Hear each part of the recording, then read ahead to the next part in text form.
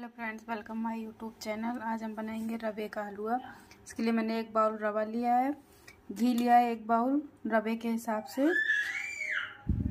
और मैंने लिया काजू, जो मैंने बारीक काट के रखा है। बादाम बारीक काट के रखा है। चीनी, आप अपने हिसाब से डालें कितना मीठा खाना पसंद करेंगे। आज हम इसको दूध में बनाएँगे। कढ़ैया मैंने पहले से गर्म होने के लिए रख दिया अब इसमें हम डालेंगे घी।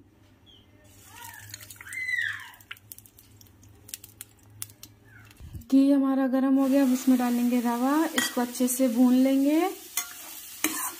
गोल्डन ब्राउन होने तक। ये देखिए, रवा हमारा भून गया है। अब हम इसमें डाल देंगे मेवा, काजू कटे हुए, बादाम कटे हुए, इसको भी दो मिनट काजू बादाम को दो मिनट भून लिया है। रवे के साथ अब हम इसमें डालेंगे दूध।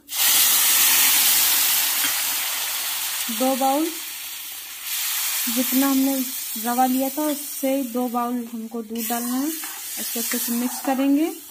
अब हम इसमें डालेंगे चीनी। चीनी आप अपने स्वाद के अनुसार डालें। ये देखिए, अब इसको हम मिक्स करके पकने के लिए छोड़ देंगे। तीन से चार मिनट में ये हलवा रेडी हो जाएगा। हलवा बनकर हमारा रेडी है। ये देखिए एक बार दूध में ज़रूर आप लोग ट्राई करिएगा, बहुत अच्छा बनता है दूध में। हलवा, ये देखिए। आइए हम गैस ऑफ़ कर देते हैं। अब इसको एक बाउल में निकाल लेते हैं। हलवा बनकर हमारा रेडी है। ये देखिए।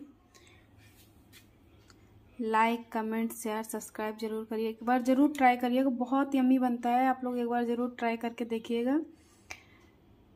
Like comment share subscribe. Thank you so much